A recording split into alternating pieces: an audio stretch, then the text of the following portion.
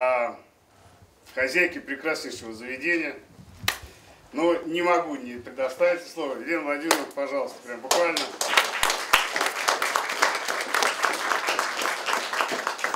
Спасибо, дорогие друзья. Очень рада приветствовать вас в Доме ученых. Э, я хочу сказать, что лагерь Русичи – это э, то, что нас, наверное, всех может сейчас объединить, независимо от поколений, потому что очень многие люди э, выросли там, присоединились к этому движению в процессе своей жизни. И вот сейчас они продолжают это, эти цели, эти смыслы нести в своей уже взрослой жизни. Как показывает вот сегодняшнее собрание, оно, конечно, удивительно и для меня лично, потому что был тоже небольшой опыт общения с этими людьми. Все это продолжает жить, и эти здоровые ростки продолжают жить. И я очень рада, что Дом ученых вписался вот э, в это движение, и могу сказать, что мы всегда будем рады видеть и Валентина Борисовича, и всех ребят э, для, в, этих, в этих стенах для проведения мероприятий. Э, давайте будем стараться вот эти здоровые ростки, фундаментальные наши, русские, поддерживать вместе. Спасибо вам. Владимир сказал, что она не готовилась, я думаю, слукавили. Такая прекрасная вещь, профессионализм. Так, ну тогда я вообще не понимаю, зачем мне эта штука, это, наверное, тебе.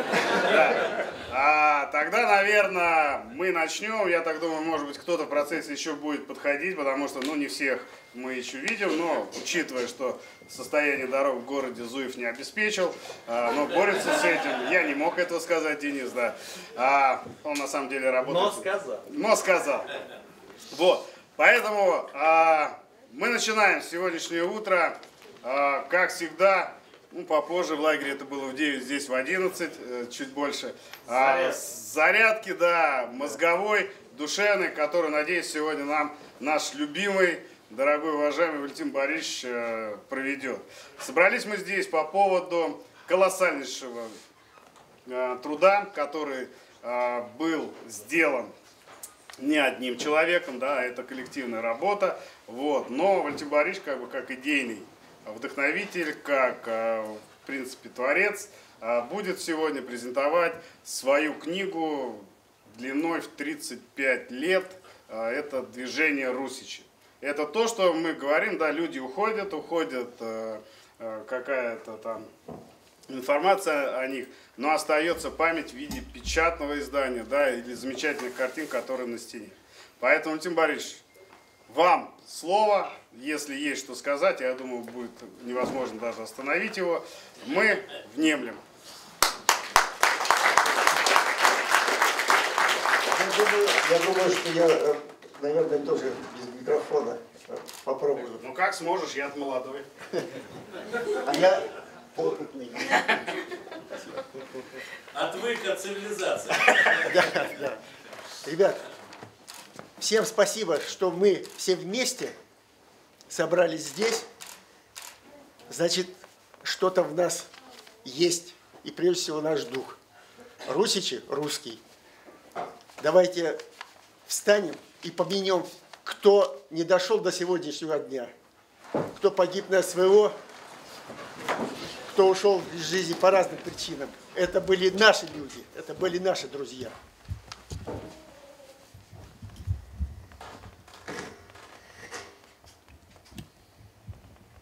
Спасибо.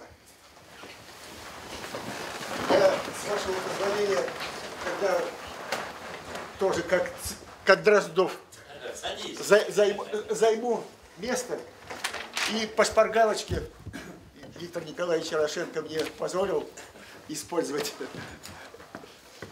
мой материал. Значит, тут э, разные темы, но они все между собой взаимосвязаны.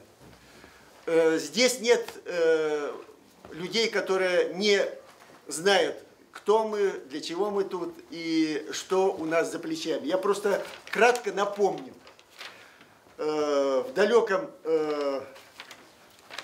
89 году, 88 даже, у меня есть друг, слава богу. Слава Борисов, встань, пожалуйста. Вот он, виновник, виновник того и того, что в Черноголовке вновь э, стал работать э, клуб рукопашного боя, когда карате попал под запрет. А он был владельцем, э, сотрудником э, компании, которая занимается, занималась в то время ремонтами холодильных установок. Э, это улица Первая.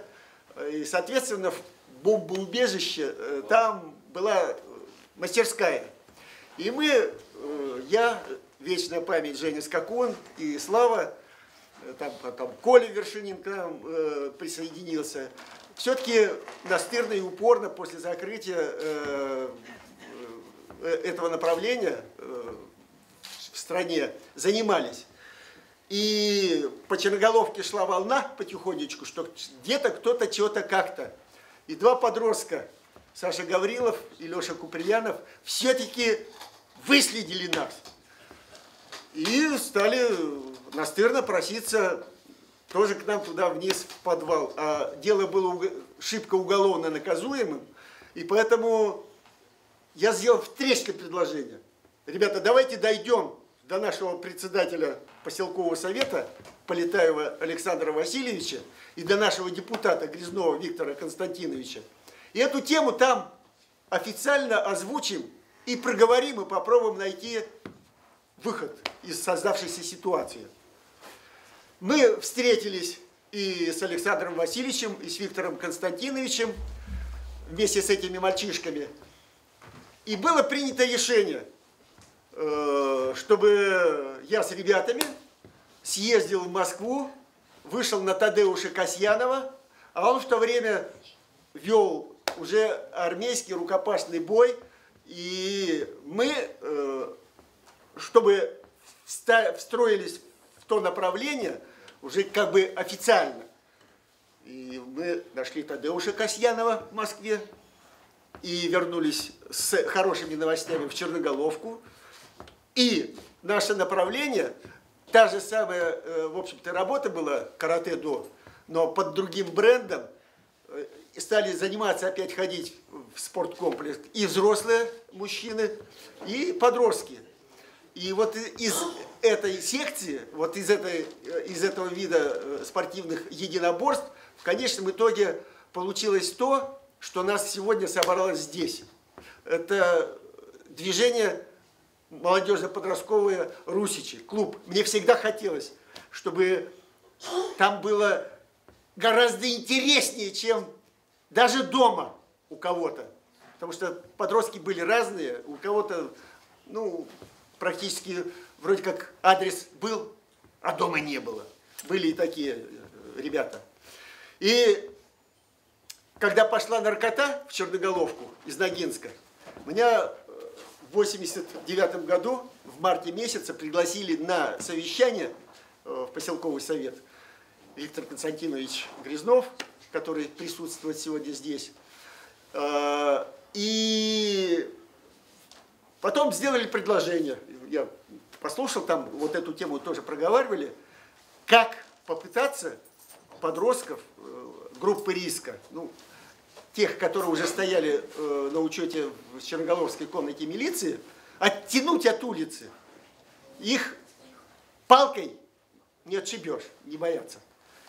Можно было взять только необычным предложением и интересом, душевным, эмоциональным.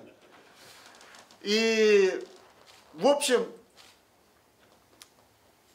мы здоровое ядро нашей секции, Мухин Юрик, там Саша Гаврилов э, и другие ребята, Димка Плишкин, э, сели на открытках, написали приглашение по имени, отчеству каждому из этих 72 подростков в то время списки эти у меня до сих пор есть, но я их не публикую. Зачем?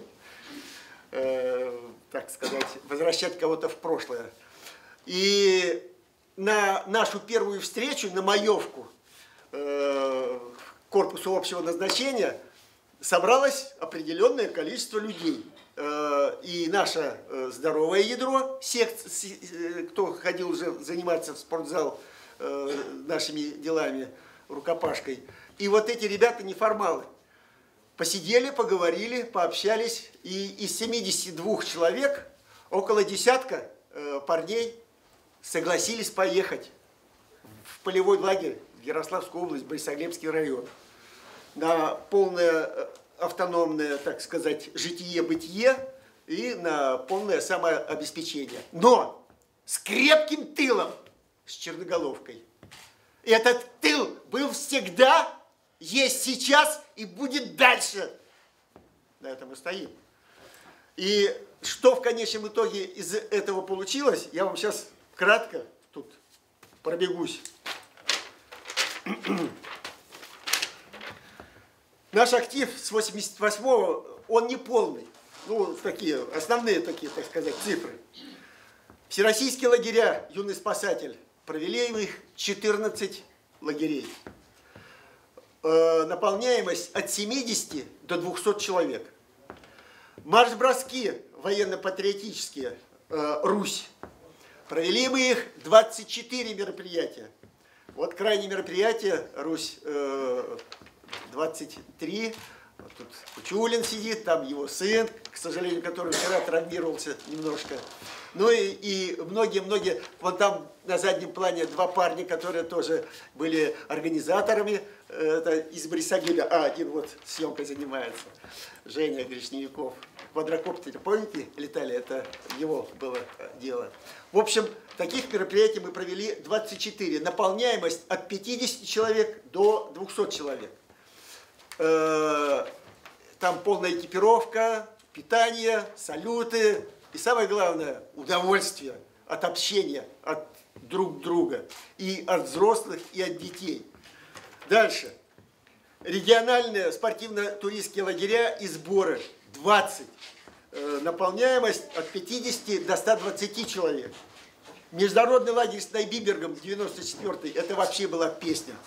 Это было классно. Ну, тут есть э, участники тех событий, и они это помнят добром и с любовью. Там все было, и смешное, и, и грустное, и самое главное, приятное. Э, однодневные занятия школ района и области. Порядка 25-30 мероприятий в течение года. С 2006 года по просьбе Ярославской епархии мы запустили э, проведение, проведение православных полевых лагерей в Ярославской области. Э, меня пригласили э, еще с владыкой Михеем, вечная память, этот вопрос проговаривали. И вот при владыке Кирилле было принято окончательное решение православным полевым лагерям Ярославской области быть. И самый первый лагерь был проведен на нашей территории. И с тех пор э, это направление работы с детьми присутствует в Ярославской епархии.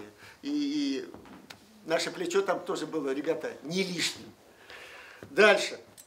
Э, ну, соответственно, семинары школьных педагогов.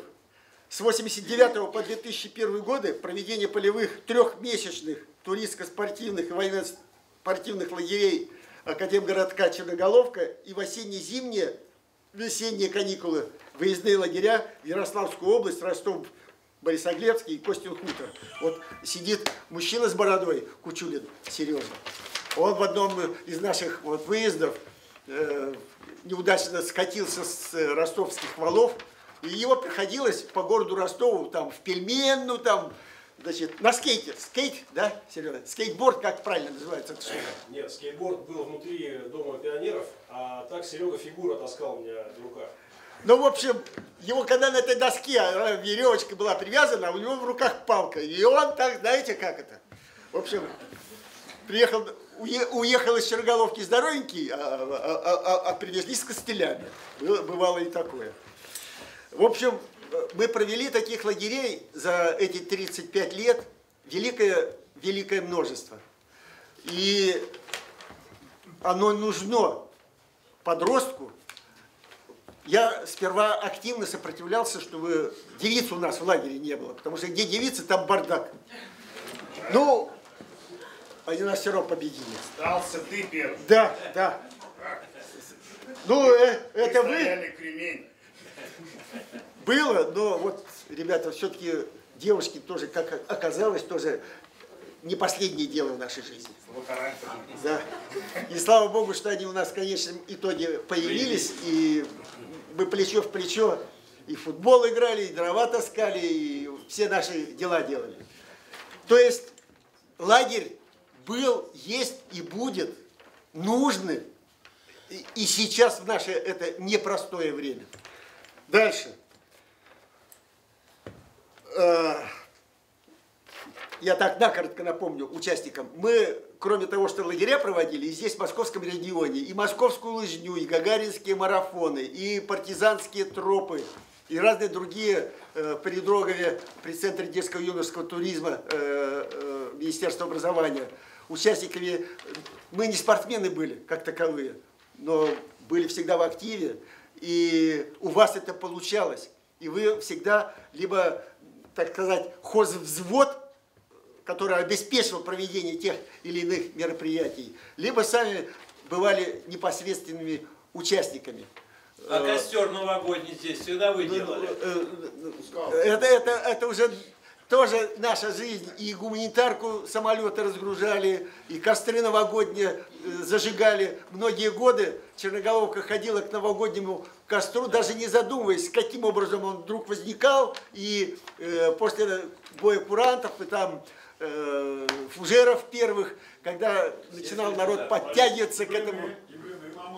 Да, и блины на масленицу. Ребята, да у нас много славных дел.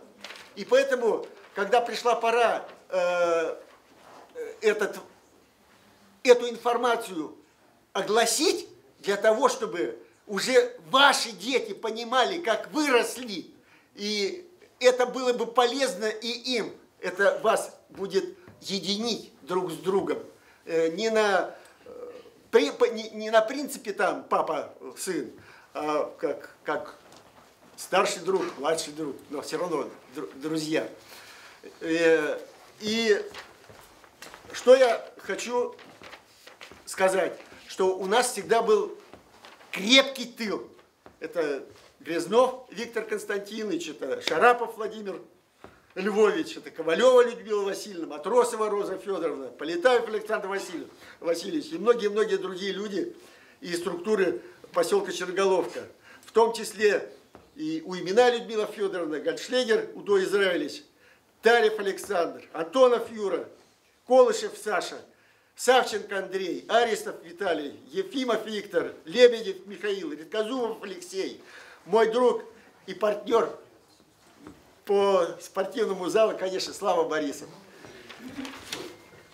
Это то, что было в прошлом, и то, что нас сделали, сделало монолитом, командой единомышленников и друзей. Да, мы разные – по типажу, по складу характера, по жизненным путям и дорогам.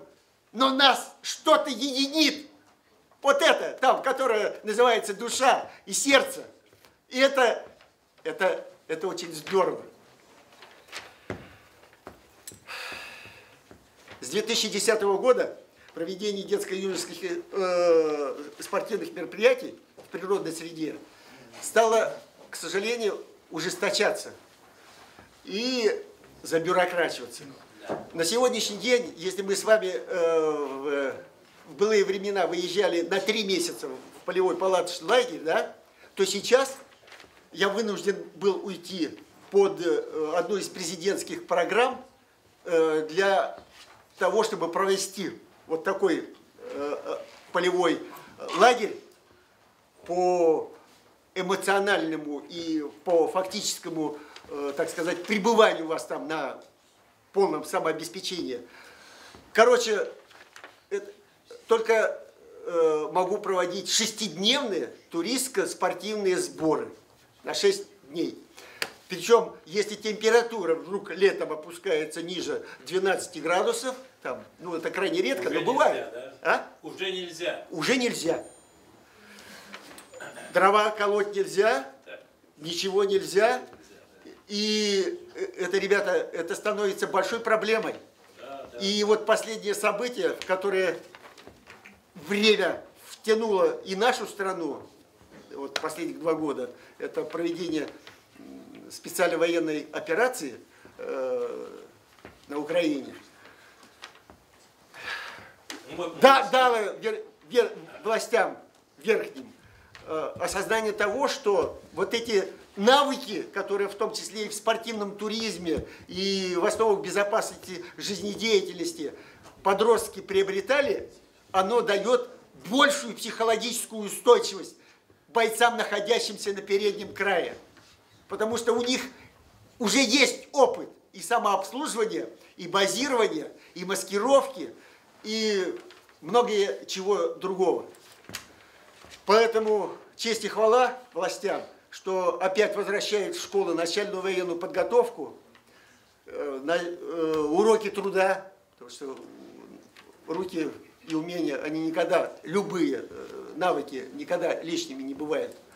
И э, надеюсь, что и у нас э, Миронов, который председатель партии э, «Справедливая Россия», является президентом спортивного туризма Российской Федерации. И работа по тому, чтобы изменить законодательную базу через Дрогова Игоря Алексеевича, мальчики э, многим ну, сейчас уже взрослые дядьки, кто-то уже, уже, может быть, даже и дедом стал, э, работают, чтобы что-то изменить, чтобы было больше возможностей реальной, э, реального приобретения тех навыков в природной среде, которые могут быть полезны в любых житейских ситуациях. Что самолет потерпел крушение, то, что там военные действия, что экстремальный поход.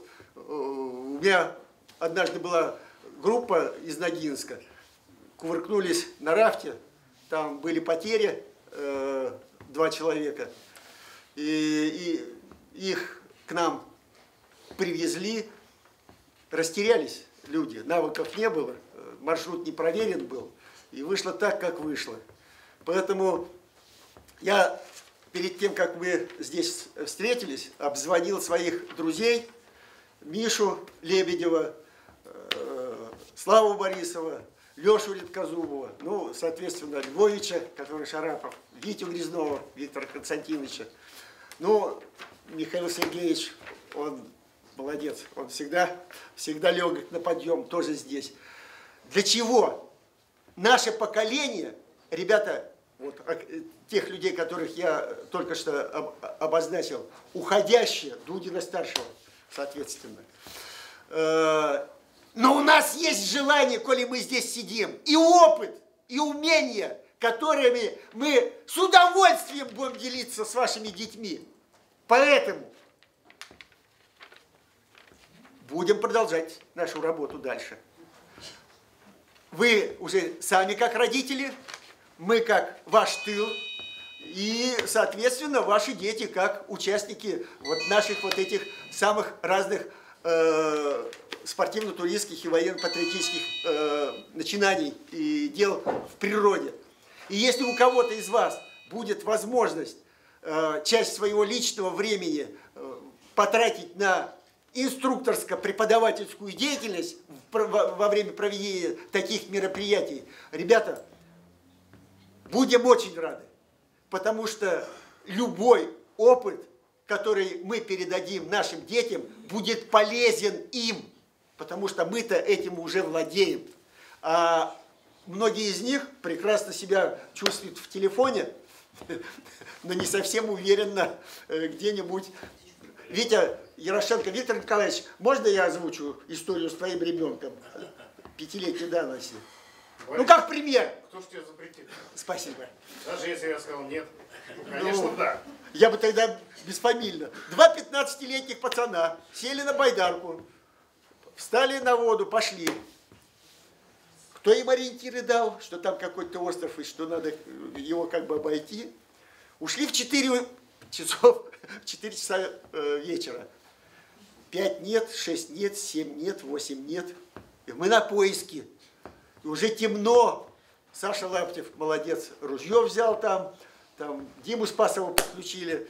В общем, ребята на этой байдарке, и все говорят, э, они уже потом нам рассказывали, ну когда же лагерь-то будет? Все гребем и гребем, все река и река. Они, ну, участники наших лагерей знают, они упороли за Алмазиху э, на байдарке, все прямо и прямо. И хорошо, что мы их нашли живыми и здоровыми, и слава Богу, что все так обошлось. Вроде как бы 15 лет парням, ну, чувствовал, что не туда пошел, ну, вернись назад. Ну вот не хватило, чего-то не хватило. И ребята просто шли вперед, вперед, как некогда мы с Лешей Редкозубовым проводили мероприятие. Сережа Тарасов, покажи личико всем, а? Ну встань, пожалуйста, а? Ну вот посмотрите на этого парня. Они получили компас, маршрут, и как рванули! И мы с Лешей потом уже разводим руки, темно на улице, а детей-то нет. И они упороли до Мамонтова, в общем-то. Но, слава богу, тоже нашлись живыми и здоровыми. Так что и Редкозубов, и Грязнов, и Малов, и Шарапов, и Дроздов, и Дудин старший. Ваши дровишки работают, проверено. Всегда готовы, ребята, делиться с вами тем, что можем дать вашим детям. Это вот по этому направлению. Дальше. У меня тут много чего написано. Ты мне один листик показывал. Чего? Ты мне один листик показывал. Ну, я потом большими буквами писал. Так. Э, у нас во время 35-летия был Саша Трофимов э, на мероприятии. И он э, озвучил вслух такую мысль, что активно занимается волонтерской деятельностью и оказывает содействие ребятам, находящимся на передовой на специальной военной операции. Я бы с большим уважением хоть Трофимова здесь и нет, но я думаю, что эта информация дойдет до него, обращаюсь к нему и к тем, кто такого рода деятельности занимается. Ребята, нашему полевому э, центру ну, крайне необходимо 6 хороших, мощных раций. Радиус действия 15-20 километров. Для, того, для чего? Вот, особенно для зимних э, мероприятий. Дудин у нас всегда выдвигается первым в 5 утра на точку, где мы кормим детей. Это километров около 10. Чтобы у него была рация. Раз. Я всегда во всех походах крайний. За мной никого. Не пописать, не попукать, не покакать. Крайний я. Потому что в зимнем лесу не, не, не должно быть таких отстающих. А, наша колонна, как правило, растягивается, Сережа, ну километров на 5, на 7. Да. И чтобы охват радиосвязью, это у медика рация, у меня рация, у, у, у крайнего, у Дудина рация, у первого рация, кто идет, ведет колонну.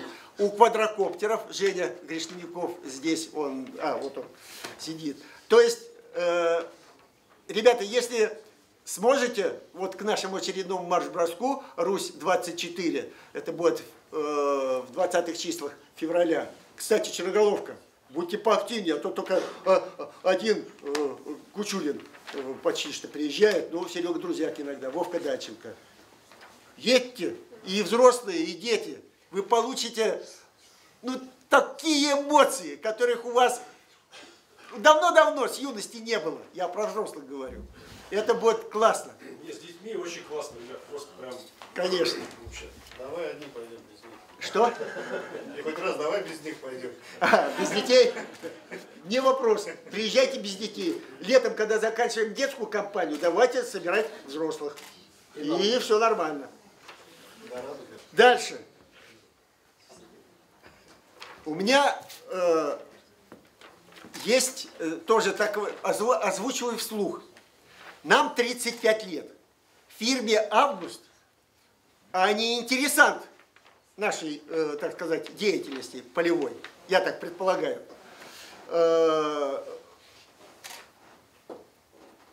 30, наверное, 33, наверное, в вашей фирме «Август», Владимир Львович, или 34? А? В 90-м, да? 33, значит, с лишним. Ну, в общем, э, мы, как, как говорится, идем плечо в плечо по, э, по количеству э, функционирования э, и Августа, и Русичей. И администрации Черноголовки. Вот сейчас стал Роман Викторович главой нашего городского поселения и прилегающих территорий. Значит, и если вдруг вот эти три направления администрация Черноголовки, фирма «Август» и «Русичи» смогут найти общий язык, мы сможем создать уникальную структуру здесь, на берегу речки Черноголовка. Это про так, та, такую же площадку, типа опорника, которая сейчас на СФО используется там нашими ребятами, но э, на котором без боевых составляющих можно закладывать в, и предармейскую э, подготовку в подростков, и в мальчиков, и в девочек. В общем, очень надеюсь, э, что меня кому надо услышали, и что эта мысль озвучена, она и до Ускова дойдет, и до Елены Александровны дойдет, и до Романа Викторовича. И это будет правильное решение. Потому что если мы это не сделаем, Никто не сделает. Байден не придет и рукава засучив, делать ничего здесь не будет. Леша Зинин, тебе большущее спасибо. Вот единственный тренер, который ко мне привозил своих детей, ну, Леша, можно я все расскажу? Он привозил зимой спать, учить детей в сугробах. Ну, они достают миски алюминиевые, там, кружки, кто ложку чайную. Ну, там пятна палаточные там э, размещаем, где у, кого какая палатка будет стоять. И начинают дети до земли разгребать это все. Ставятся палатки, пенки там, туды-сюда. Короче, дети ночуют в снегу, а Леша возле печки в соседнем домике, на всякий случай, а Малов между палаток. Так что вот и такое было. Но детки получали ну, просто изумительный опыт. И восторгов у них было. Ребята, ну круто. Леша, а помнишь, когда телевизионщики приезжали и, и, и твои ребята там, это было на майские праздники, там не помню, какой канал был, но у нас много бывало, и, и телеканал «Мир», и всякие другие. Так что, ребята, привозите своих детей и организованно, и неорганизованно. А к тебе, Кирилл Николаевич, наладь, пожалуйста, компьютер. И это я которому без рукавника. Э, потому что без компа, вот сейчас Федор Федорович, самое, Федор Федорович Даченко, я сейчас закончу, Виктор Николаевич, ты ему дашь слово, потому что книгу делал он. Я свою работу знаю. Все понял, все. Я продолжаю. Осталось чуть-чуть. Так, где у меня тут шпаргалка? И э, у нас был город побратим есть, Найбиберг. Но в связи с э, теми обстоятельствами, которые сложились на сегодняшний день, э, дружеские отношения с властями Германии наладятся, наверное, далеко не быстро. Но у нас есть поселок Борисоглебский, где выросла не одна сотня вас. И давайте городом-побратимом сделаем Черноголовку и Борисоглеб. И это будет круто. Спасибо. Я что хотел сказать, сказал. Виктор Николаевич, твое слово. Да. А, прекрасно. Ну, вроде бы не затянули, да. Спасибо, Валентин Борисович. Сказал все, но, как бы сказал, ничего. Вообще встретились поговорить о книге. Ладно, много еще сказал. На самом деле, а, сегодня как бы мы, ну, в очередной просто раз наконец-то вытащили в нашем кругу мы называем это бороду да, сюда. Вот. Но сейчас я вижу, что многие бороды уже сидят и в зале. Вот. Это говорит о том, ребятки, что 35 лет это немало.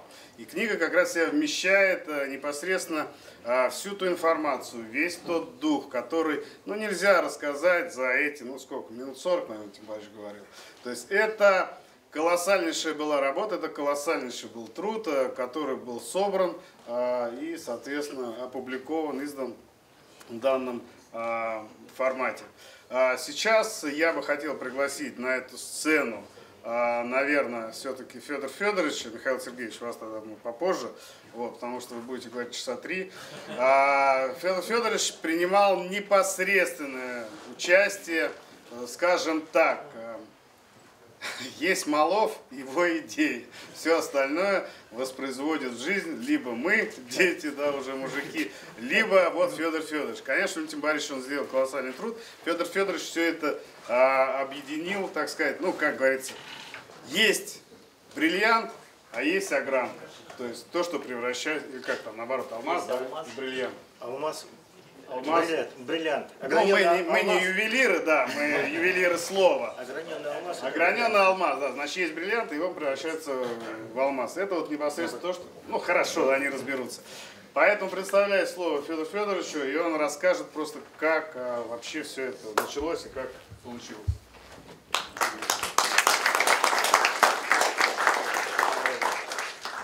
Больше года назад, где-то в сентябре, ну и не где-то, в начале сентября 22 года а, мне позвонил Валентин Борисович и предложил э, сделать книгу-альбом, посвященную 35-летию Русичей.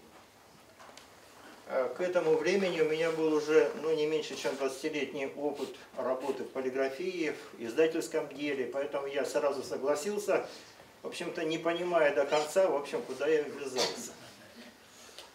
Но раз сказал «да», уже отступать было некуда. Значит, э, появились помощники, которые мне передавали информацию. В общем, скопился такой большой стол разнообразного материала. Слышно, да, что? У меня голос слабый, поэтому мне только с микрофоном. А, Я э, взял на себя обязанности редактора-составителя, редактора отдельных текстов и э, корректора начального уровня. Так как я работаю в издательстве «Текст», и я поделился этой э, интересной работой, этой интересной идеей со своими коллегами, то, в общем-то, всем это понравилось. И таким образом у нас образовался вот такой неформальный творческий коллектив. Значит, начинали мы с начала сентября, книгу получили э, из печати в конце июля. Ну, то есть э, мы не филонили, в общем-то, старались, много чего сделали, там много что пришлось отсеять, но вот а, работы было много.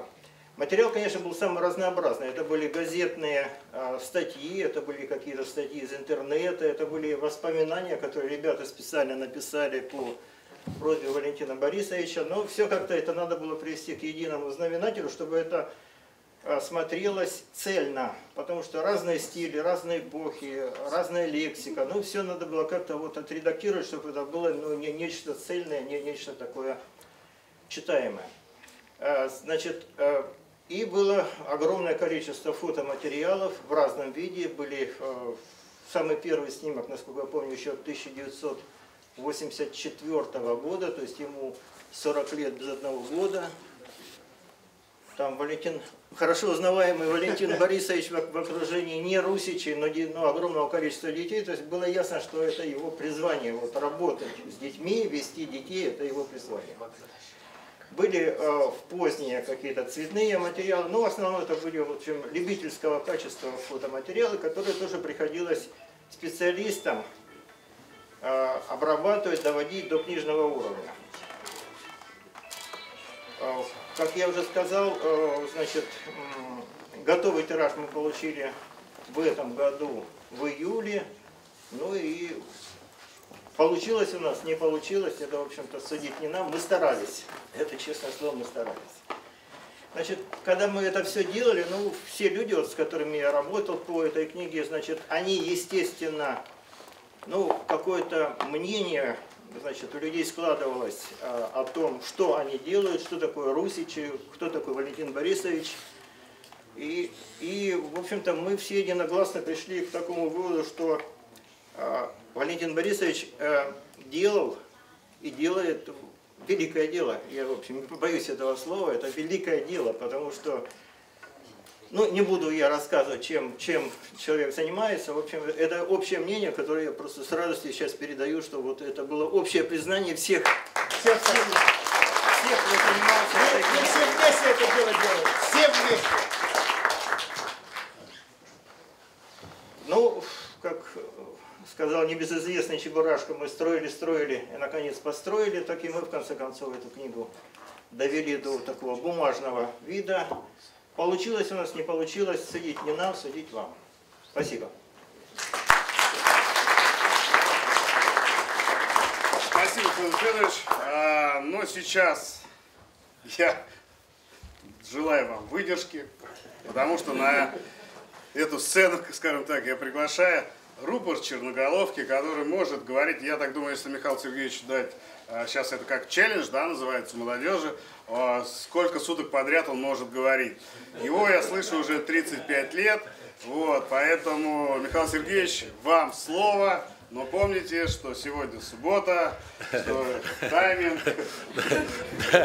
У евреев выходной день. Значит, ребята,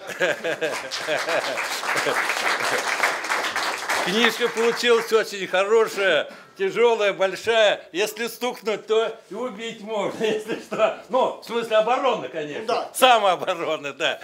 Не нападение. Но я не про это. Ну и много, конечно, что говорить, много здесь ценного.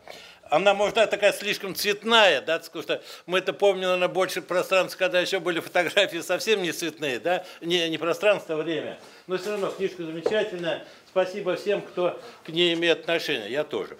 Значит так, но я хочу всех поздравить. Смотрите, сколько народу собралось с сегодняшним праздником. Это действительно праздник. Смотри, гораздо больше народу, чем э, туда приезжало. Да? Ну, потому что здесь свои. Корни-то здесь наши, так сказать, черноголовские, да. Как сказал Маяковский, мы говорим Малов, подразумеваем Маловца. Мы говорим Маловца, подразумеваем Малов. Да? Это очень здорово. Знаете, когда вот так вот до слез, когда сливаются вот эти два понятия в одно. Борисович жизнь прожил не зря.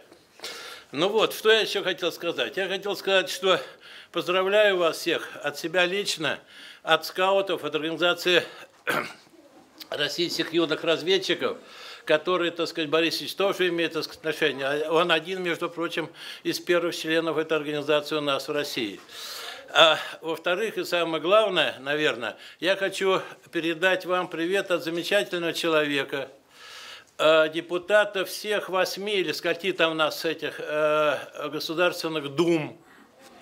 И самое главное еще совета, совета, как он назывался, совета, Верховного Совета СССР, да, так сказать, который, но, а нет, Россия, Российская Федерация, да, который был вот в 93 году расстрелян, от Анатолия Николаевича Гришневикова, жителя, э, сын вот его здесь как раз э, сидит, так сказать, и слава богу, что э, дружит Валентин и с тем, и с другим, да, так сказать. Это Гришняков, замечательный, так сказать, человек, он, он и писатель, он эколог, он вообще такой настоящий русский человек, каких сейчас, к сожалению, в доме не так много. Вот, пожелаем ему всяческих успехов. Так вот, он передает привет, он хорошо знает э, и э, жизнь, так сказать, Маловского лагеря, и э, многих, так сказать, лично э, знает. И передает вам большой, так сказать, привет, пожелания самые лучшие. И что еще он говорит? Он одобрил вот эту идею. Мало жить как фонтан, да, вот он все отчитывался, уже несколько идей кинул очень хороших. И самое это удивительное, что в этом, так сказать, фонтане его идей многие идеи реализуются. Я очень надеюсь, что реализуется вот эта замечательная идея, которую как раз Гришняков, так сказать, очень одобрил. О дружбе не только с иностранными... Это Серега мой сидит. Серега, ты? Серега мой, да, приехал. Значит, это вот, да, одобрил, одобрил идею вот это, дружить не только там с немецкими городами, может, это неплохо, но сейчас не время надо с ними дружить, да, ну, там что какие-то связи продолжаются, а дружить вот между такими, так сказать, русскими городами. Смотрите, Борисоглебу э, 700 лет, даже больше. Нам 70 еще даже нету, так сказать. А там у них история. У нас здесь, наоборот, так сказать, можно сказать, современность. Но очень много. Тем более, что у нас уже такое гнездо, там такая опора, да, в лице Костина хутора. Я считаю, кстати, я думаю, что вы также думаете, что Костин хутор – это одно из самых лучших мест вообще в России. А, кстати, Гришников сказал, что он тебе это место-то подарил вместе с архитектором, а ты скрывал это. Я его обошел на вираже, А, потому что вот он так. хотел там себе дачу построить. С, с Рыбниковым они там хотели вроде бы, да. А просто ну, место-то такое, да, сами понимаете. Он говорит, от А вот- сердца оторвал. да, Валентин обошел их всех, это самое. И спасибо тебе, это самое. Это Гришникову спасибо, что... А что отдал, что, Да, ну отдал. тоже, да, согласился. Когда приезжаешь туда, конечно, отдыхаешь, так сказать, и душой, и, так сказать, и телом, и всем, так сказать, это прекрасно, так сказать. Ну, что мне вам, вам, так сказать, объяснять?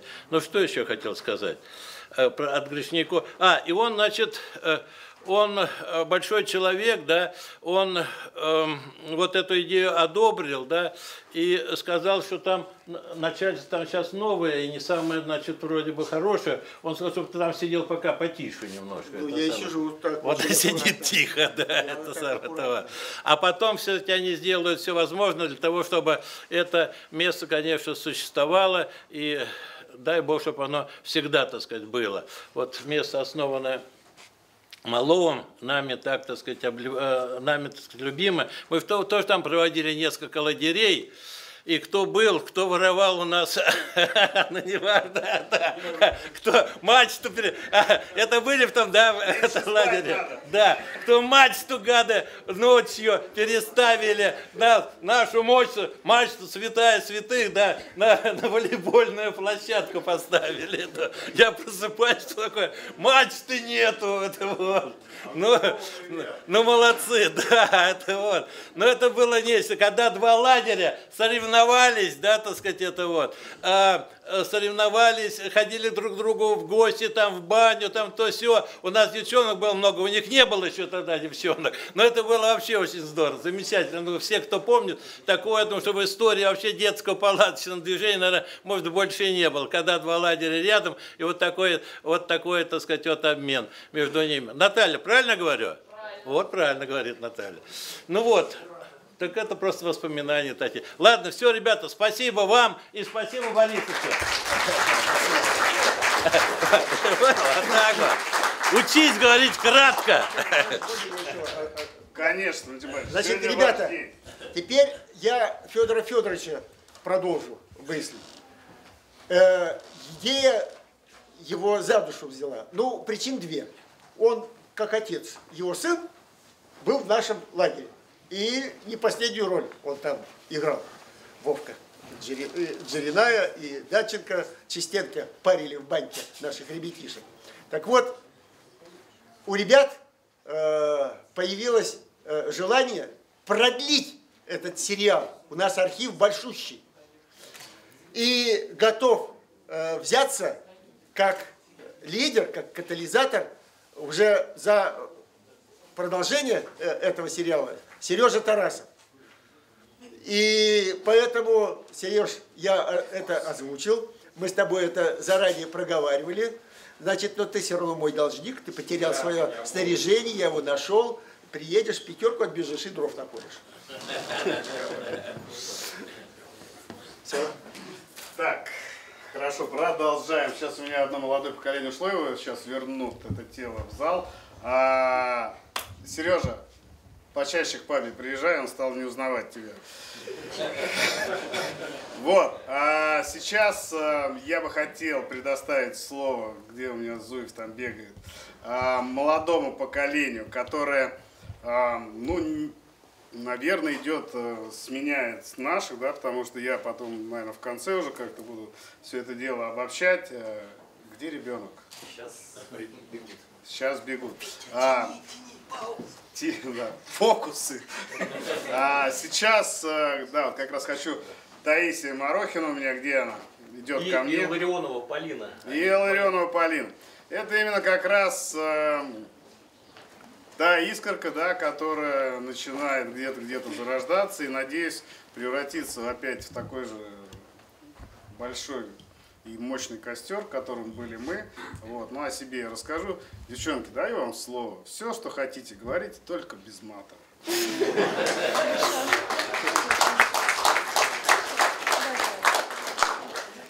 А, Я, конечно, не готовилась, но, пожалуй, не знаю ни одного человека, которому, му- которому бы не понравилось находиться в Русичах. действительно стоит съездить по каждому ребенку. Все слышат, нет? А, ведь э, такие эмоции, которые я испытываю там, в городе не испытаешь.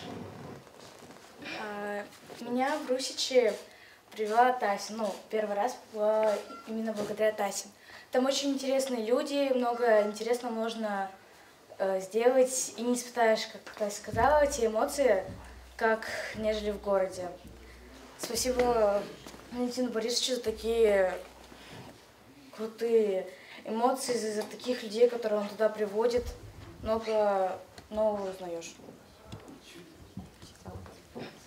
Я так понимаю, все.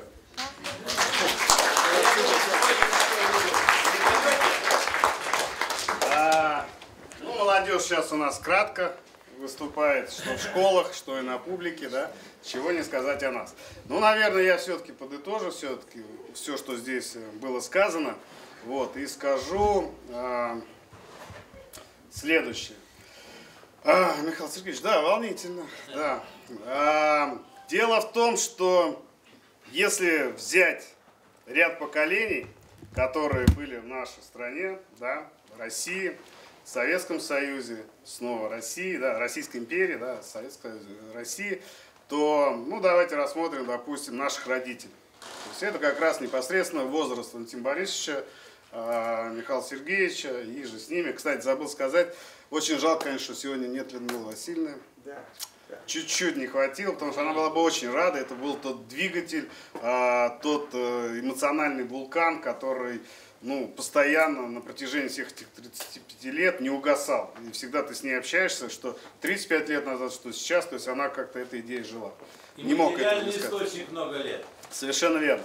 Вот, так если мы возьмем, а, соответственно, наших родителей, да, это дети послевоенные, а, когда страна была в разрухе, когда а, была сильна идея, да, целостность государства, то есть это совершенно там не было еды там, то есть э, как-то другие проблемы были. Но страна именно вот из-за того, что были сплоч- сплочены после того, что случилось нами, после нападения немецких фашистских войск, а, было тяжелое время. Да? То есть у них был свой вызов. А, но была та человечность, была та духовность, которая была на высочайшем уровне, хотя и была запрещена церковь, но тем не менее, то есть, как Борис всегда говорил, в храм не обязательно ходить, да, то есть э, Бог должен быть здесь, то есть ты к этому придешь. Далее возьмем наше поколение, то есть многие здесь сидят, это дети перестройки. Это когда развалилось что-то одно, что просуществовало всего 70 лет, да, и еще не создалось что-то другое мы были предоставлены сами себе. То есть непонятно было, в какое ты направление идешь. Именно как раз в это время и начинало вот это вот набирать обороты пагубное пристрастие к наркотикам, к алкоголю. Потому что подростки не знали, что им делать. И здесь появляется, ну, про Борисовича сейчас дальше его саккумулирую. То есть это было наше поколение, которое просто, ну, не было, мати- был материал, но из него никто не знал, что можно было из него сделать. Соответственно, это та же безработица, это те же пустые прилавки, это отсутствие какой-то там цветной одежды, там разноцветной там, или еще что-то, да, это все серое. Вот. А Далее берем мы наше поколение, вот, которое сидит, сидит моя дочь, сидят многие тут дети, да, сидят у меня господин Авдонин, Семен в телефоне сидит, отниму, как всегда, смотри. А, это именно то поколение, которому, я кажется, досталось самое страшное сейчас, что есть. Хотя вроде бы и наша страна теперь э, сильная, да, и каждый день только укрепляется. И мы это видим. Но против нас сейчас работает, ну, как мы это не говорили, я не хочу сюда примешивать политику, но воюет вся страна. Если когда-то против нас воевал там Гитлер со своими союзниками, сейчас практически, точнее, не вся страна, весь мир. И когда нашим детям заменяют духовное на потребление, когда ребенок думает не о том, какую книгу прочитать, или, допустим, съездить посмотреть какую-то картину, он думает о том, какой ему нужен iPhone завтра, 16, 15 или еще какой-то, какие у него должны быть кроссовки или худи. У нас идет сейчас замещение э, тех институтов, которые была сильна страна. Это институт семьи, это институт отношений мужчин и женщин, где нам сейчас пытаются забросить это зерно, что между мужчиной и мужчиной могут быть отношения, между мужчин, женщиной и женщиной могут. Но основная задача человека, который рожден на этой планете, это воспроизводить себе подобное. И слава Богу, что, понятно, были внесены какие-то определенные, ну, у всех могут быть разные отношения к изменениям Конституции, но я очень рад, что там внесены изменения по поводу того, что только между мужчиной и женщиной могут заключаться браки в нашей стране. То, что сейчас произошло с движением ЛГБТ, я чертовски рад, то, что мы не берем это европейское. Петр Первый всегда привозил что-то хорошее. Нам же сейчас стараются навязать это что-то самое плохое. А это говорит о чем? Война бывает разная. Бывает физическая на поле боя, бывает информационная. И как раз вот именно то, что сейчас происходит, это идет уничтожение русского народа. Потому что если продвигать всевозможные ЛГБТ и тому подобное, это говорит о том, что не будет рождаемости. У нас и так проблемы с демографией. Значит, не будет граждан. А что такое государство? В первую очередь, это, конечно же, граждане. И вот сейчас я хочу подытожить то, что как раз именно в какой-то момент, когда то или иное поколение а, поддается каким-либо испытаниям, появляется тот, кто возьмет на себя ответственность. Потому что это большая ответственность. Он лепит судьбы людей, лепит их э, как личность. И не дай Бог, он замешает что-то не то. В нас, слава Богу, было замешано все самое лучшее. Поэтому мы преследуем нормальные отношения э, в семьях, да, мы рожа, э, рожаем их, да, но рожаем не мы, Серег, да, вот, но тем не менее, наши жены, и мы пытаемся наше поколение воспитывать, как и у нас в свое время вкладывал Борисович. Поэтому то, что сейчас происходит, это именно как раз тот выход. И то, что государство пытается сейчас что-то сделать, да, там, вот этот патриотизм прививать. Но его нельзя просто так выйти, спеть гимн там, да, или еще что-то, и все, ты патриот. Нет. То есть это все идет из семьи. И вот наша семья, все-таки Русичи, это, это семья.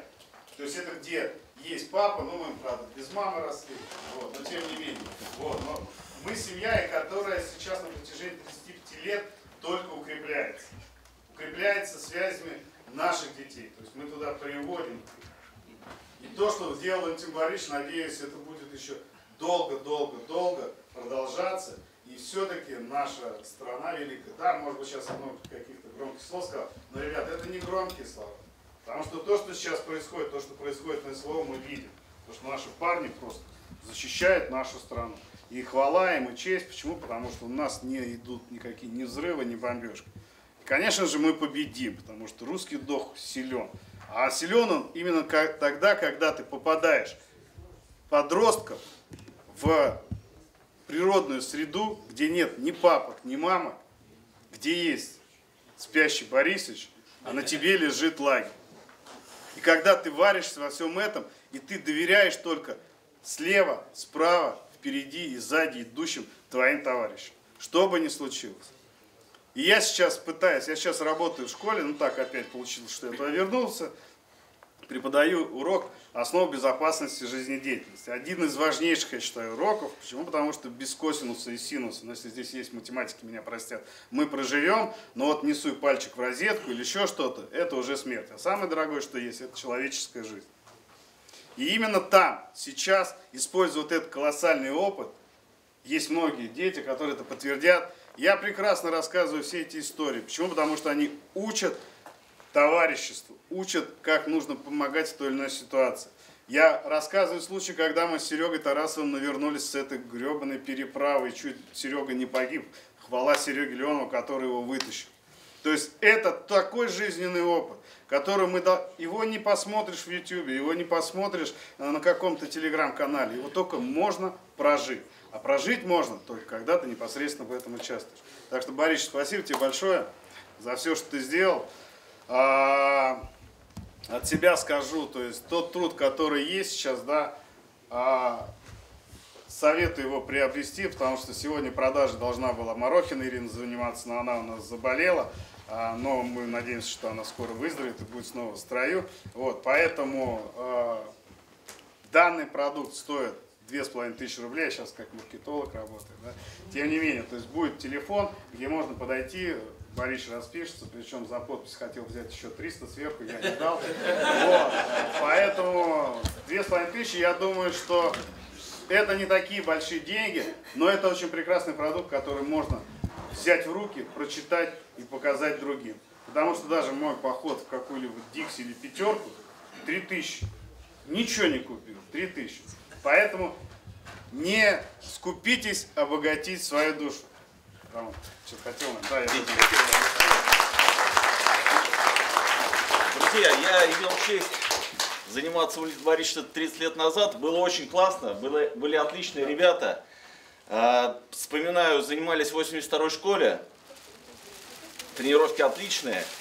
И в памяти осталось а, занятие на, на песчанке. Каждое воскресенье с вами а, игра в регби. И самый вкусный чай в моей жизни зачерпывали таз из речки, кипятили его, было супер. И хотел бы попросить прощения у Борисовича. Мы часто с друзьями, несколько раз в год, приезжаем к нему в гости. И вот мы собираемся... Траву косить. Траву косить, дрова рубить, пилить. А, мы в пятницу вечером после работы все прыгнули в машины. И Ира Морохина, ребят, обязательно купите булочки сладкие. Да. А мы заехали в магазин, а так каких надо не было. И мы приезжаем уже поздно ночью, Валентин Борисович нас ждет, он затопил камин, мы приехали, тепло дома. И он спрашивает, а Ира ничего не передала? Такие, Валентин Борисович, нет, мы не купили. И я видел ее глаза, сколько там было горя. Я вам пожелаю, что это было, чтобы это было самое Ладно, большое в прощаю, прощаю, прощаю. Всё, Больше мы так не будем выступать. Это вам подарок. Спасибо. О! Спасибо. Понимаю, тоже подарок. Почти как Пригожина. Ну, не кувалда. Ну, Я так думаю, Роман как раз подарил, Да. которым он и будет работать. Все, что мы дарим, почему потом возвращается нам. А я не буду играть и петь. Ребята, я его так что- и не смог настроить, ведь. А, давай тогда вот так. Как-нибудь попробуешь. Ну что, или думаешь, сфальшивишь? С фальшивым. Давай. Да. Ребята, А, куража нет, не- ну, не смог гитару настроить. Я лучше давайте продекламирую, по крайней мере, одну из песен, которую мы с вами с удовольствием пели. Давай. Тучи, тучи, тучи заходили. Э, хорошая песня. Отбила. В общем, и зашли. Да. Никак. Ладно. А, давайте Ладно. тогда так, с случаем мы разберемся. Для тех, кто хочет послушать песни Валентин Борисович, приезжает лагерь Костин Хутор. А, сейчас, я думаю, у нас есть а, некоторое время. А, может, кто-то хочет еще что-то сказать. Может, кто-то хотелось, хочет чтобы... обратную да, связь да, какую-то. Да. Есть у нас... А, галерка, которая сидит, да-да-да-да-да-да-да-да. Э, Сидит. Мы можем вас и сидя выслушать. Нет? Пока еще могу встать. Я знал, что он поведет с нами. Если кто не знает, это тот человек, который с утра встав, сев на велосипед, думает, пойду к Борисовичу съезжу. И Да, бывало и такое. Но не на велосипеде. Пешком бежал. Да, пешком бежал. Э, Вот сегодня, тут меня уже упоминали несколько раз. Грязнов, да я тебя при всех обниму, а? Витя.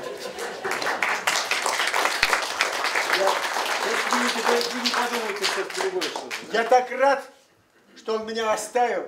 Я ведь хотел, когда первый лагерь сдал, пришел к нему попрощаться. И они с Полетаевым взяли меня за горло и не отпустили. А мужик развелся с женой, поделил через суд детей. И там много и чего как было.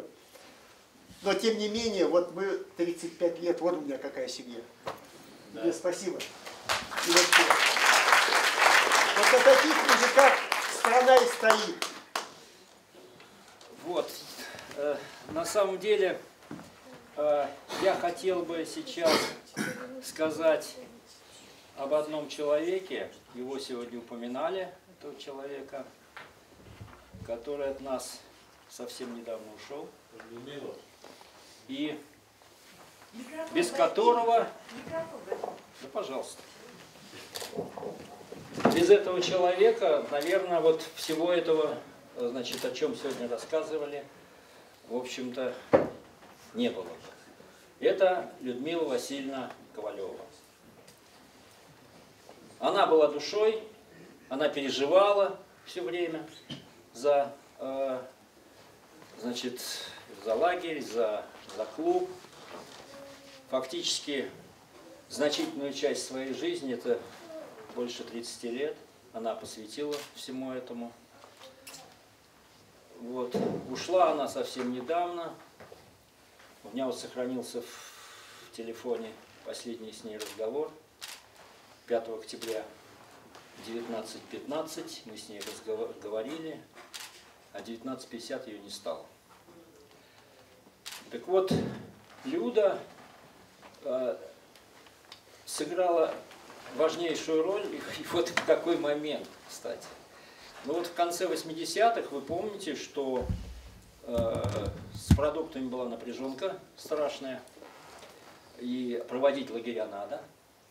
Людмила была в объединенном правкоме, и как-то им удалось э, вот эту гуманитарку, которая приходила из Германии, Валентин сегодня рассказывал, как мы толпой разгружали самолет Ан-22 всю ночь, да? да? Было такое. Но вот чуть позже поступила гуманитарка э, из Германии, где была, э, значит, э, там мясо было какое-то, масло топленое, там, Сыр, сгущенка, яйца, порошок, вот там, да, много чего было такого. И при помощи Юлии Васильевны мы значительную часть этой гуманитарки умыкнули, положили ее, значит, в склад, и потом на этом, на этих продуктах жили практически, наверное, года три, не меньше, да? Не меньше. Вот. И не только он. А? И да, и скауты, он, да. скауты тоже, да. Но вам меньше доставалось.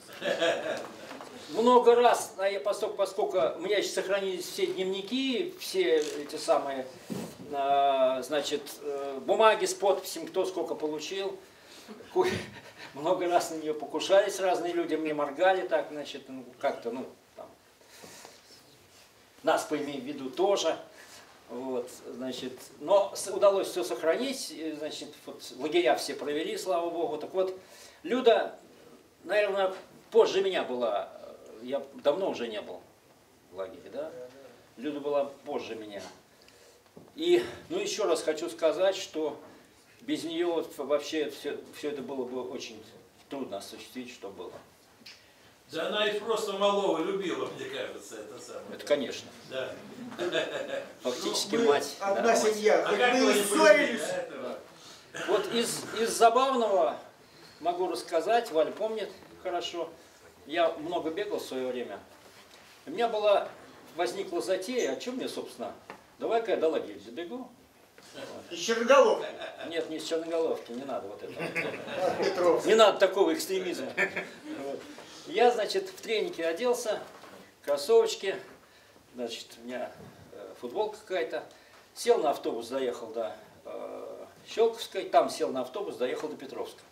От Петровска где-то 50 с небольшим километров до значит, лагеря.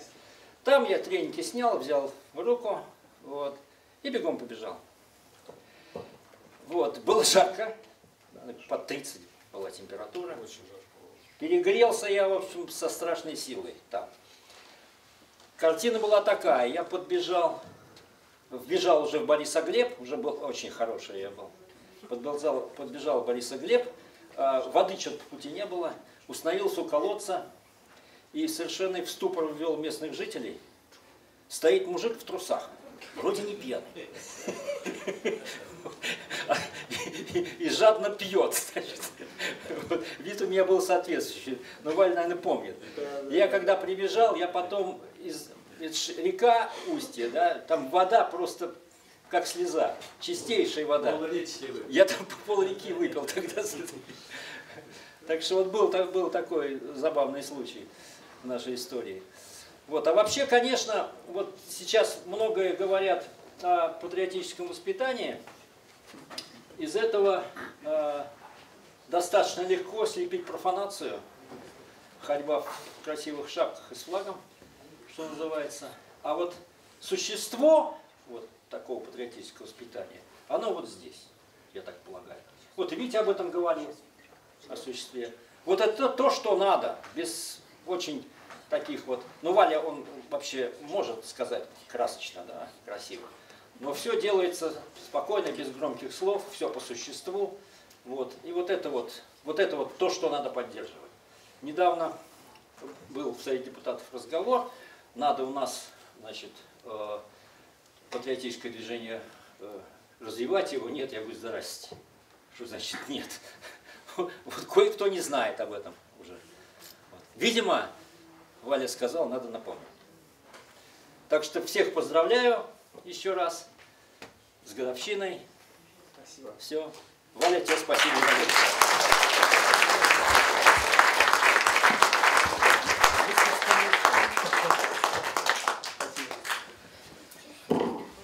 Спасибо, Виктор Константинович. Как я всегда, вдогонку, я вдогонку от таких путешественников. Леша Редкозубов со своей дочкой тоже добежал до нашего лагеря. Правда, на велосипедах. Мы с ней вдвоем на велосипеде доехали. Есть в пятом классе. Да. Представляешь, 220 километров. Да. Вот черноголовки, да? Да, Черноголовка. Велосипед, Да, лагерь. Ну, давайте я расскажу, можно? Конечно, конечно, конечно. Валентин, во-первых, поздравляю вот с таким э, грандиозным трудом, который завершает некоторый этап. Вообще меня слышно тогда? Я без микрофона. Спасибо тебе огромное. Значит, благодаря тому, что я немножко расскажу. А, Валентин, э, мы с ним не были знакомы, и он в какой-то момент попросил меня проводить занятия у него э, в клубе Русичи по спортивному ориентированию. Я уже к тому моменту как бы сделал карту спортивную, ну вдвоем с приятелем сделали спортивную карту, которая шла от стадиона и в сторону полигона вдоль полигонской дороги. Ну и начал, э, пришел к нему на первое занятие. В подвал. Ну, вернее, полуподвал. Да. Смотрю, а у него там дети, начиная от первого, второго класса и до старшеклассников. Я так прикинул, значит, ну, конечно, первоклассников э, выпускать в этот лес, там можно до Ногинска же убежать. Если ты ошибешься, то можно бежать по, по нашему лесу, он заканчивается только Ногинском. Поэтому я, э, значит, решил, э, что надо делать новую карту. И сделал благодаря вот, тому, что Валентин пригласил проводить у него занятия, я сделал новую спортивную карту. Это, я его называю лесопарк центральный, это значит от улицы Первой и до Института химической физики. Извини, перебью, а почему же тогда у тебя Тарасов в Мамонтова попал? Другую карту взял. А нет, Тарасов-то в старшеклассниках был. А Да. старшеклассников я на ту карту запускал. А. А эту карту я сделал специально для младших классов. Понятно. Поэтому. И сделал еще тоже, опять-таки, для младших, для младших э, участников э, и учеников это спорткарту здесь, вот, ну, лесопарк, который между Южным озером и городом. А, значит, а потом, э, после, э, значит, когда у него начался полевой сезон, он пригласил, давай, говорит, приезжай э, в полевом лагере, будешь проводить занятия. Ну, на одну смену я, у меня была возможность приехать. И, значит, и договорились, когда я к нему приеду, и я решил, я, я поеду на велосипеде. А дочь Женя говорит, можно я с тобой? Я говорю, ну, поехали. Она только-только закончила первый класс. Ну, мы так за три дня с ней потихонечку, потихонечку до него доехали все же. И обратно потом на велике поехали. А Но- ночевали как? ну, палатку, ну, Михаил Сергеевич. Я, я уже тертый, тертый турист это называется, поэтому Конечно, я уже знаю, знаю, что я и палатку надо на- для ночлега. А значит, по поводу скаутов еще, Валентин, извини, я, можно до скаутов перейти? Да, да. Значит, да, у тебя было замечательно. Мне в лагере все очень понравилось. А, Значит, дочь была тоже в полном восторге. Ну и, естественно, в конце а, занятия, как всегда, проводятся соревнования, типа зачетных, ну и тренировки в лесу проводились. У него там очень замечательная спорткарта, сделана профессионалами, а, значит, просто выда- выдающиеся. Ярославскими ребятами. Да, я знаю. Одного из них я знаю. А, И вообще замечательные условия для того, чтобы там в том числе и учиться ориентированию, спортивному ориентированию. А, а теперь, Валентин, ну, ты садись, не, не, не стоишь. Я Да, немножко не скажу про скаут. да? Немножко, чуть раньше, чуть раньше тебя ко мне обратились скауты. Тоже, А, значит, ага, провести у них- конкуренты. провести, провести у них, значит, э, занятия по, ориентир, по спортивному ориентированию и соревнования, как это в конце всегда бывает. Мы, значит, были в лагере в Маврино. Это был, наверное, один из ваших первых лагерей, или не первый? 91 год. 91 год, да. Значит, и э, там э, тоже приехал я туда на неделю. Вначале я, э, значит, несколько раз ездил туда на велосипеде. Мне надо было спорткарту составить, для того- на основе которой э, с детьми можно проводить занятия. То есть я там нарисовал спорткарту, ну небольшую, естественно. Значит, приехал туда, проводил с детьми занятия. А в конце, естественно, устроил э, ну, такие соревнования для детей. Э, детям понравилось, но старшеклассники, я посмотрел, они, ну, в общем, замечательно соображали. Я старшеклассникам устроил ночное ориентирование в, то- в тот же день. А летом ночь э, наступает очень поздно, там 23 часа, по-моему, было, мы уже после, после 23 стартовали. Значит, все участники э, отлично сориентировались ночью, то есть никто не побоялся в лес идти. Но я, правда, только старшеклассников туда отправлял, молодежь, естественно, младших не отправлял. Но, значит, все вернулись, никто не заблудился, все, но мне, правда, начальство э, скаутское потом э, выговорило, ну что ж ты нам сорвал э, этот самый тихий час, ну ночной, потому что мы уже после отбоя, а дети возвращались из леса, возбужденные, у них столько эмоций, как же, ночью в лесу найти, а, значит, так как у нас не было, ну, технически неполноценная э, была организация, то есть приш- пришлось, на контрольных пунктах не было фонариков. И детям нужно было ночью своим фонарем высветить контрольный пункт в лесу. То есть это вообще задача очень сложная. Но тем не менее, все дети справились. Молодцы. А после, э, значит, лет, наверное, 15 назад я, мы с приятелем каждую э, зиму э, обычно совершаем такой лыжный походик по двум лыжным трассам. Одна э, лыжная трасса это Солонога в Электростале, а вторая Орешник-Ногинский. То есть мы на автобусе заезжаем до Ногинска, оттуда, значит, на лыжах до Солоноги, потом на лыжах перекатываемся э, в Орешник. И вот, значит, мы э, лет 15 назад возвращаемся э, с Солоноги переезжаем на Орешник, и я смотрю на опушке леса, значит, группа детей жгут костер, взрослых нет. Мы подъехали, спросили, вы что здесь одни-то? Костер же жгете. Они говорят, а он, а он- это секция туризма Ногинского, э, Ногинская, и у нас руководитель, вот там в лесу просто, там, Сютур, да. Значит, выходит оттуда э, парень, уже, ну, такой, э, зрелый, ну, наверное, даже какой-нибудь вуз закончил. И он говорит, а я вас знаю. Вы, говорит, Алексей, я говорю, да, точно. А вы помните, вы у нас в Маврино проводили э, занятия по спортивному ориентированию, а там у вас еще и Ногинская дружина была. И, э, значит, вы, а вы знаете, мы, значит, после, поскольку, поскольку у нас никто до этого спортивного ориентирования не занимался, мы э, после э, этого лагеря попали на слет, московский областной слет по туризму. И вы знаете, а мы ведь там выиграли соревнования по спортивному ориентированию.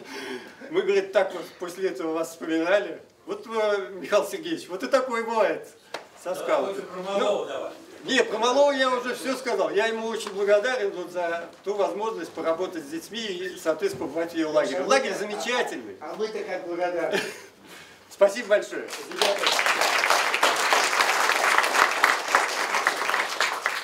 Я персонально хочу Шарапову Владимиру Львовичу сказать гигантское спасибо за то, что ты мне помог получить высшее образование. Володь, это... Я бы никогда никуда не поступил. Шарапов сказал, надо! Володь пошел. Надеюсь, не он учился-то за тебя. Но он, но он процесс контролировал. А диссертацию кто тебе писал? Ну, конечно, Михаил Сергеевич. Нет, сам говорит, утверждает, что сам. Да, да, я со временем стал соискателем Международной академии туризма и кандидатская. Сейчас бы я ее по-другому обозвал, другую тем- тему. Сейчас бы я ушел не в не в ОБЖ, а в нравственность. Потому что изменение общественной нравственности порождает новые смыслы и цели жизни. Из новых целей проистекает новая концепция их достижения. Концепция меняет культуру. Новая культура меняет правовую культуру.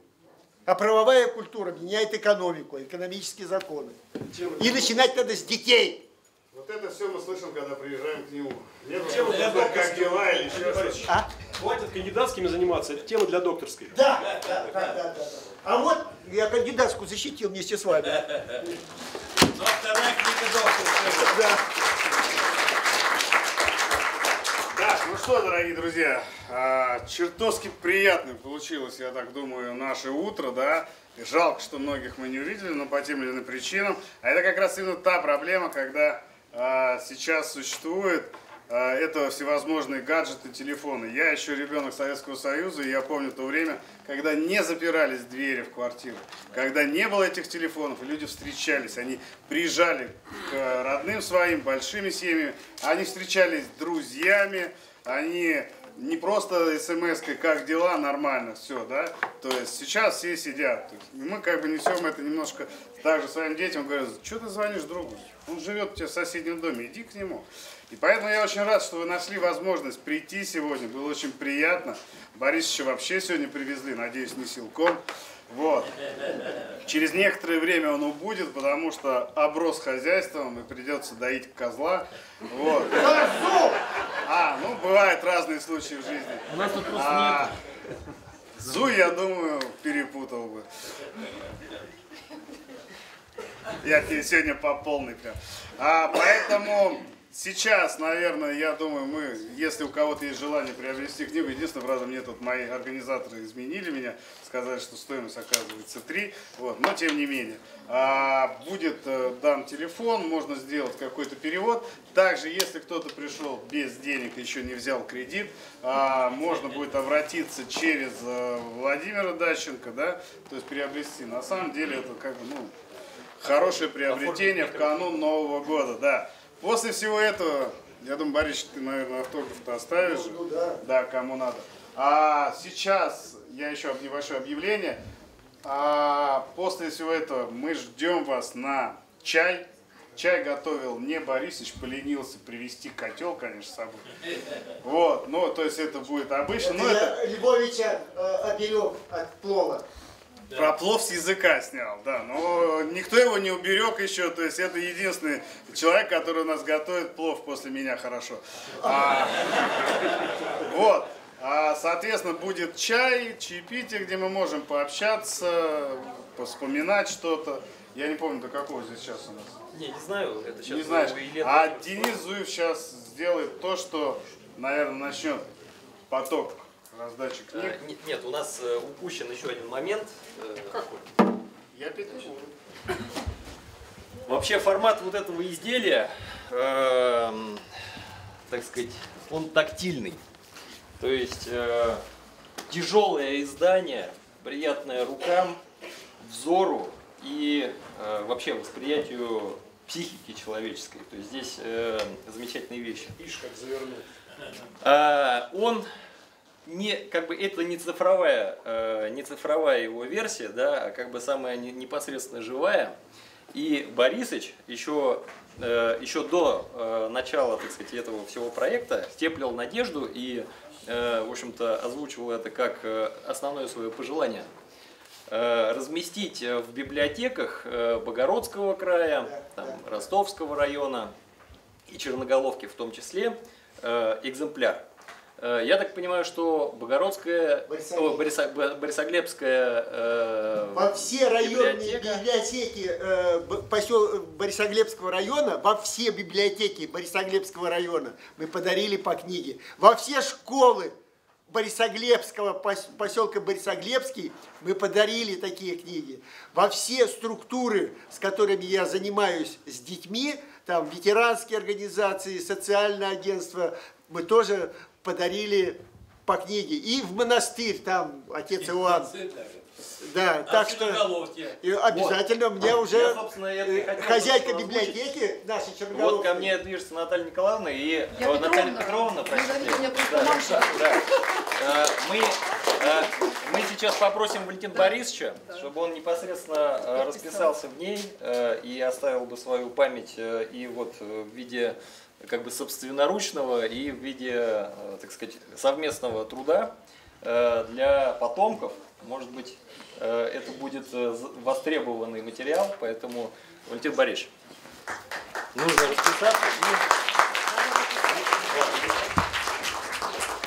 Можно написать городской Черноголовской библиотеки.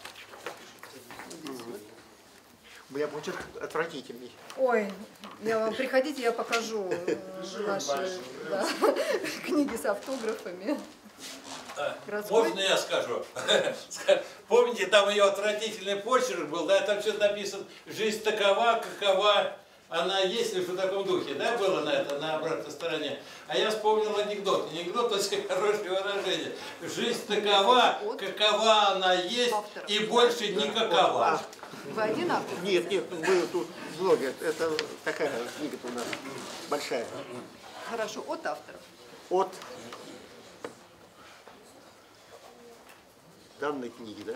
Не надо данных. От авторов. От авторов. Мгм. Здесь э, дата. А сегодня у нас э, 16 16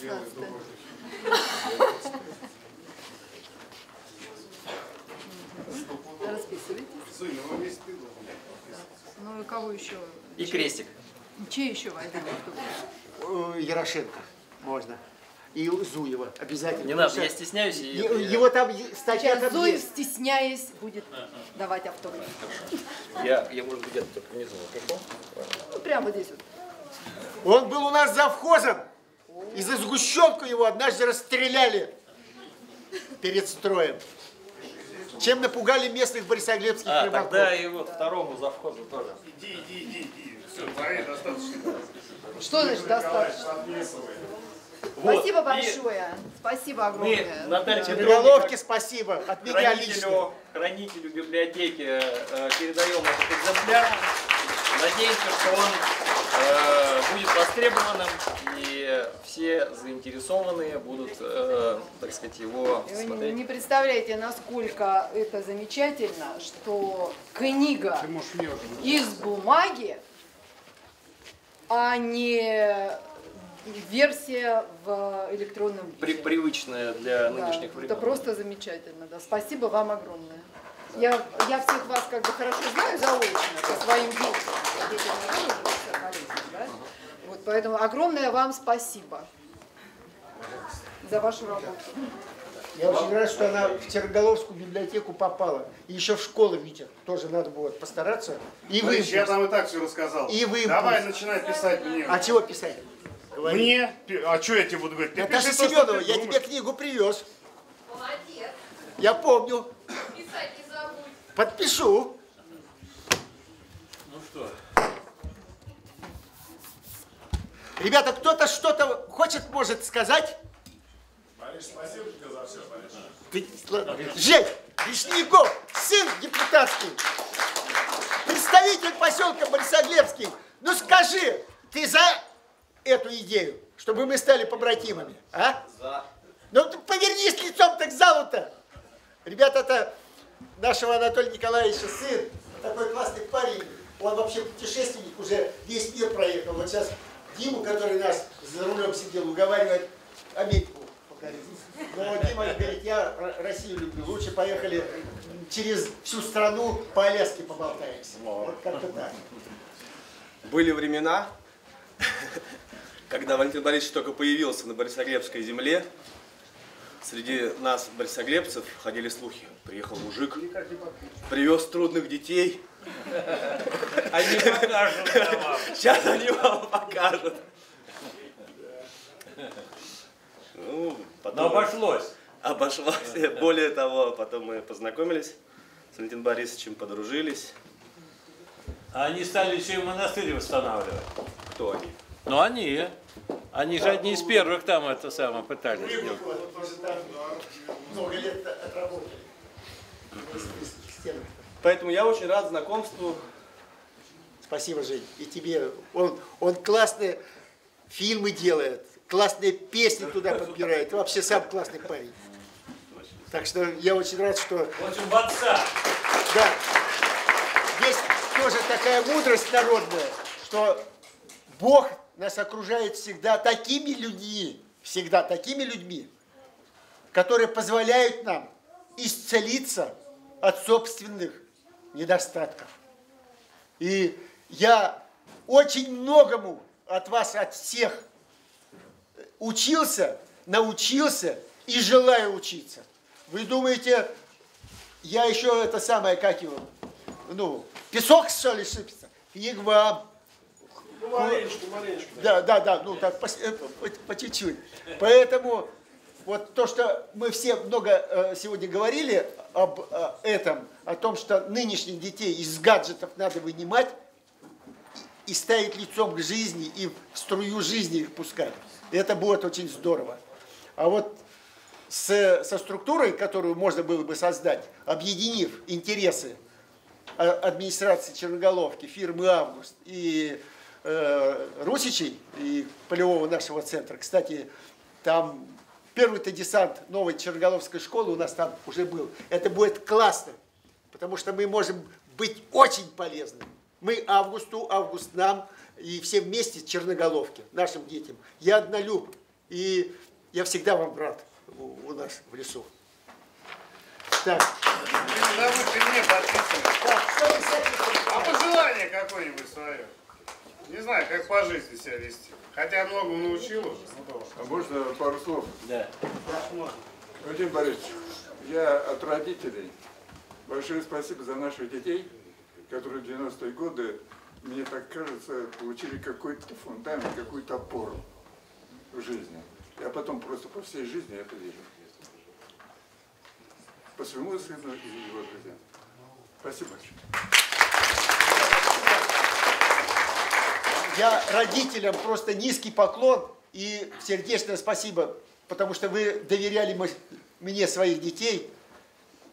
Я костьми лягу, но живыми взял и живыми отдам. Помните, во время кросса мы наткнулись на медвежьи следы. Шарапов, младший, который Андрюха. Там ногтью, медведь, наверное, ножницами никогда не пользовался. Вот такие вот, наверное. Развернул людей, там корой прикрыли э, эту, эти следы медвежьи, назад в лагерь. Двоих, у нас телефонов тогда еще мобильных не было, э, в милицию и к охотникам бегом. Приезжает УАЗик, приезжают инспектора, охотоведы, э, милиция с Фирсовым. Походили, следы посмотрели. Ну, Борисович, пойдем там за стол. Ну, где у тебя Шарап, э, это, Грязнов, вы помните, мне спирт в, такой чемоданчик сливали, как дипломат из нержавеечки, там на 10 литров. Ну, говорит, давай свой э, знаменитый дипломат. Мы экспертизу-то провели, ну, они там по чуть-чуть приняли и говорят, слушай, убери помойку, не кидай ты туда жрачку, потому что медведь, медведица будет опять сюда приходить. Мы там засыпали все, что можно было. Мы хлоркой не пользовались. Золой от костра. Засыпали эту яму. И остатки пищи стали сливать в речку рыбкам. А потом познакомились на той стороне, на Якшином хуторе, через который наши мальчишки ходили э, на дискотеки к девчонкам в соседние лагеря, в Радугу и в Дружбу.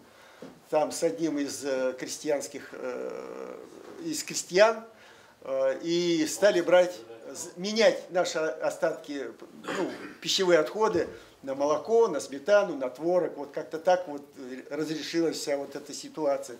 Но случаи в лесу иногда бывают, ну, самые, ребята, разные. Ты помнишь, кому подписываешь? Виктору Николаевичу. Помолчите все, пусть подпишут. Пусть кто-то еще выступит. Ребята, кто-то, да, действительно, говорит, мы, мы не часто собираемся-то.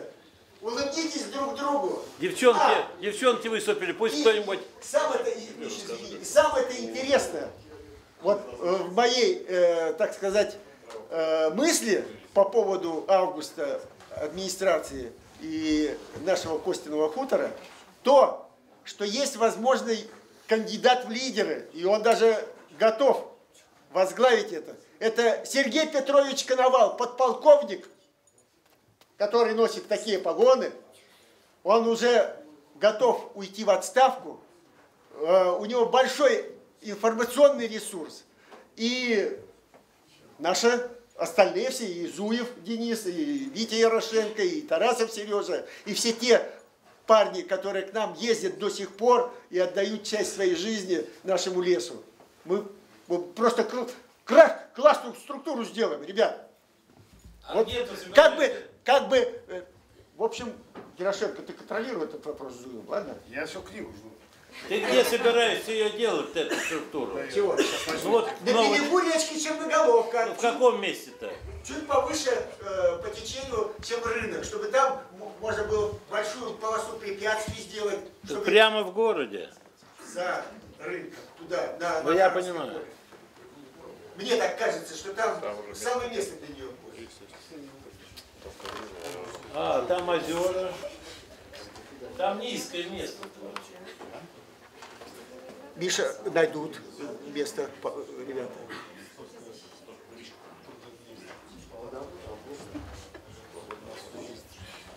Там какой-то был фестиваль этих самых ребят, там называются, ну тоже типа э, имитаторы, как они? Черная земля.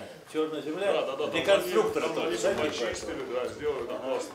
А сейчас же разрушили там все. Не, осталось. Осталось Там что-то там, да? Там заросло просто. А, так вот там-то может и ничего, да. Может, если там строить не будут. Борис, ты ему большой на пусто и пишешь, он это не там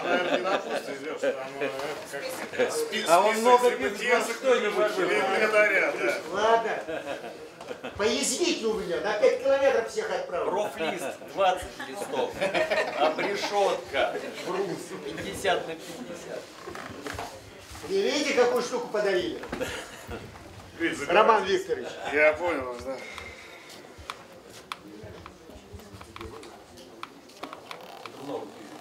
Ну, я большими буквами Нормально. Спасибо, Борис.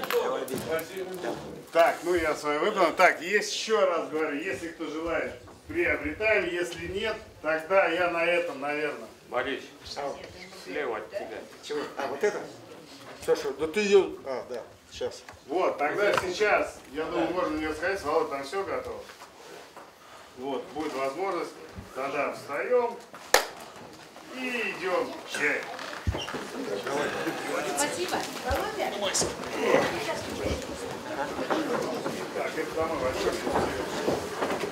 Сейчас, сейчас пойдет прям. Пилим, пилим, пилим, пилим, пилим, пилим.